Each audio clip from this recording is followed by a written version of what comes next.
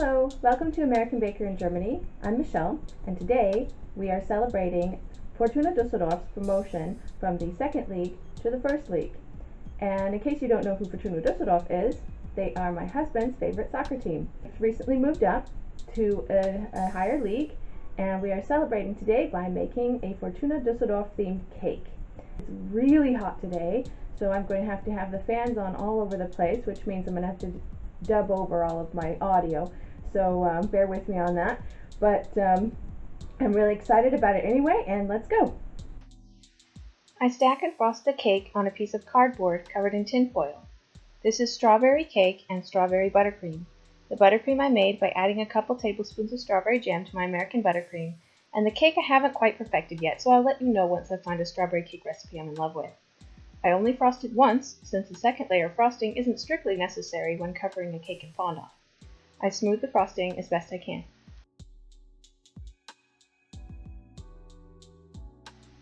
Then I clean up the cake board with a wet rag and roll out red fondant to cover the cake with. My red fondant was a bit sticky so I used powdered sugar to keep it from sticking quite so badly.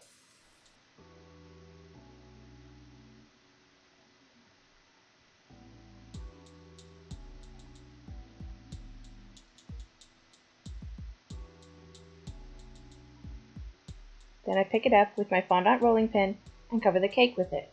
I smooth it down with my fondant smoother and my hands and trim off the excess with a sharp knife.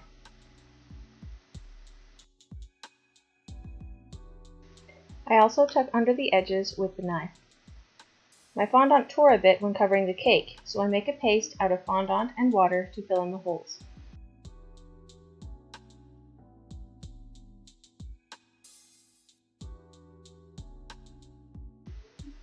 I cut out letters using my fondant press form. If you've never used a fondant press form, I'll show you how to use it. You only need a tiny bit of fondant. Then I sprinkle some powdered sugar on it, rubbing it into the tiny spaces to keep your fondant from sticking to the mold. This step may not be necessary if your fondant is a bit on the dry side, but it is definitely necessary if your fondant is sticky. Then dump out the excess powdered sugar. You don't want clumps on your letters. You can make these one of two ways. Either press in a chunk onto the letter you want and cut the excess off with a knife, or you can press just barely more than you need onto the letter you want and smear it on with the back of the knife, taking the excess away with one motion. That's my favorite way.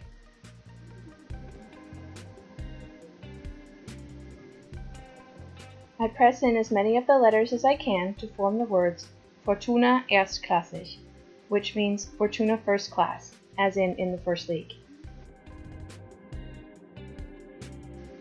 The easiest way to get the letters out is to bend the silicone form to stretch the letter and use your fingers or a knife if it's sticking a little to pull the letter out.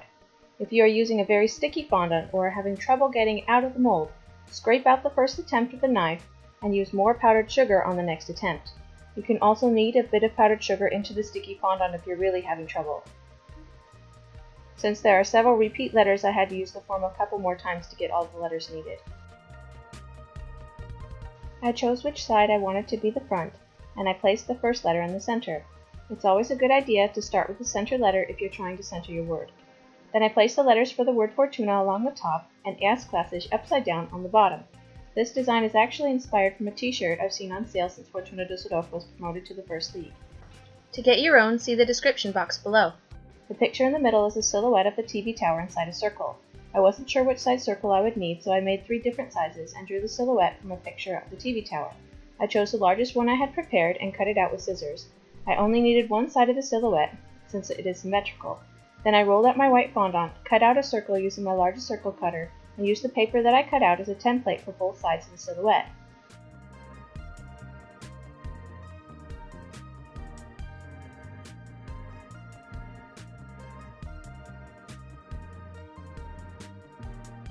Then I placed the two sides of the silhouette onto the center of the cake, leaving a little space between so the TV tower would be recognizable. I don't want to leave it at that.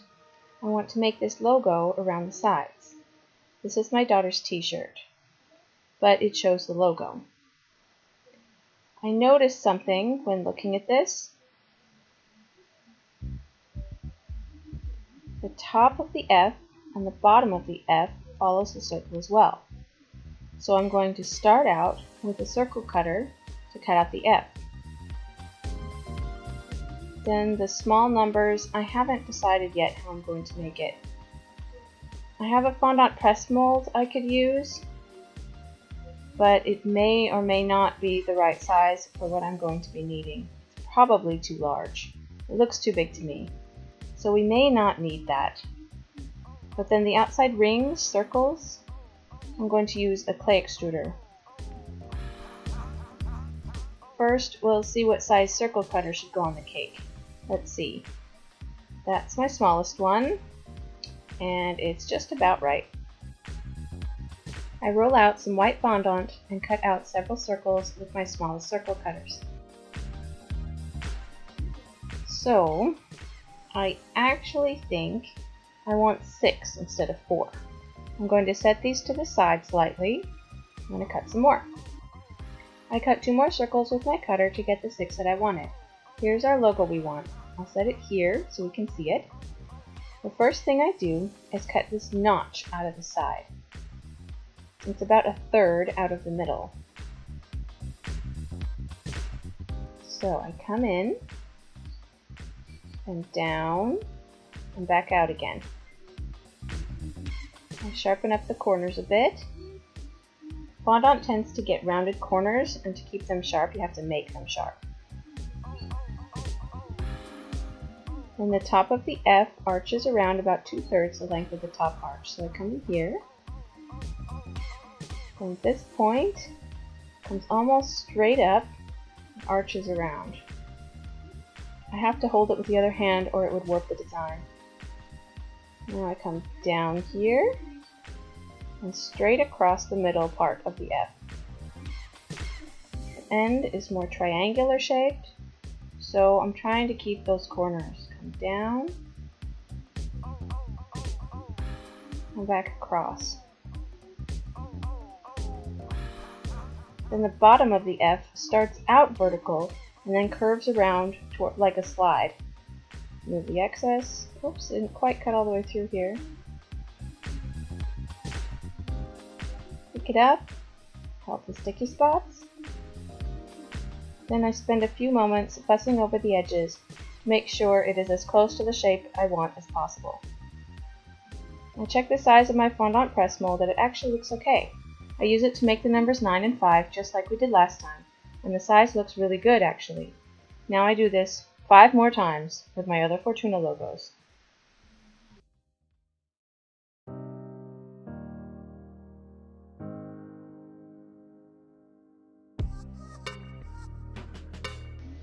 Since I'm not using a template and I've never seen a Fortuna Düsseldorf cookie cutter, they all look just slightly different, but it gives it a bit of character.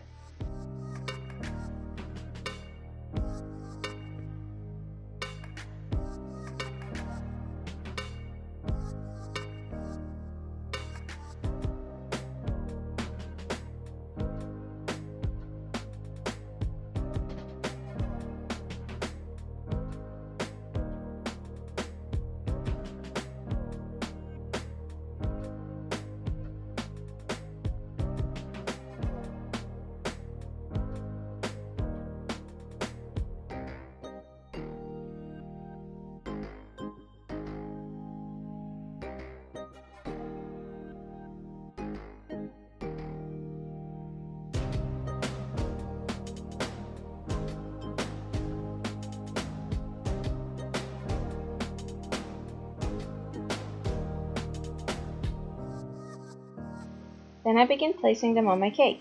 Notice the very shiny surface of the fondant. That comes from the cake being cold and the room very warm. It causes the fondant to sweat. It made it both easier and harder to place my Fortuna logos. Easier because I didn't need water or edible glue to get the logos to stick, but harder because the excess condensation on the fondant caused them to slide down the side of the cake. It was difficult to get them to stay where I put them. In the end, I knew this cake needed to be chilled very badly, so I put it in the fridge while I worked on the circles. To make the rings around the logo, I use my clay extruder and extrude several strings of white fondant.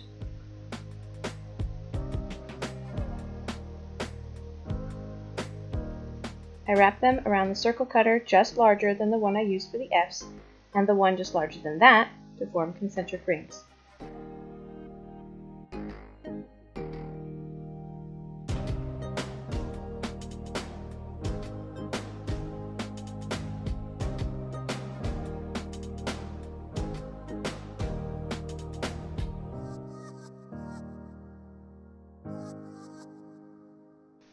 My cake was more stable and less melty when I got it back out of the fridge.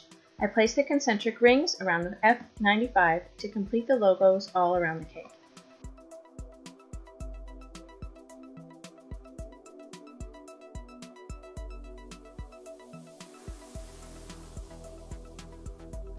I think it turned out really beautiful. The TV tower is recognizable, and the Fortuna logos are very clear. This is one of those cakes that helps you see what's possible to freehand without being a perfect artist. There are no Fortuna cookie cutters, so we have to improvise. I think it turned out lovely despite the heat.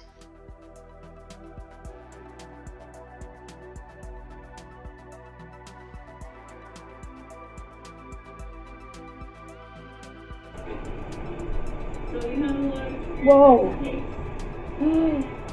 Okay, no, I have to show this. This is crazy. Okay.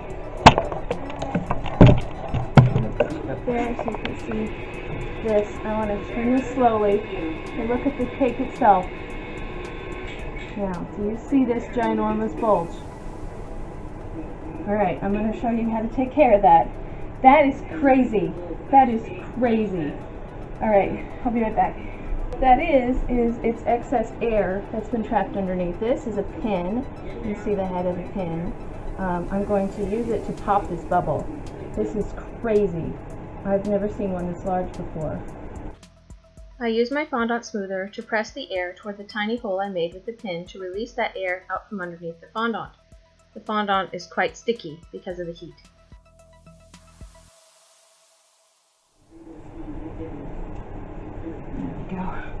Look at that. Isn't that lovely? That's sweaty fondant. Do you have any more in there? I think that was the biggest one, but my goodness, that was a big one. Okay, so that's how you take care of that if that ever happens to you.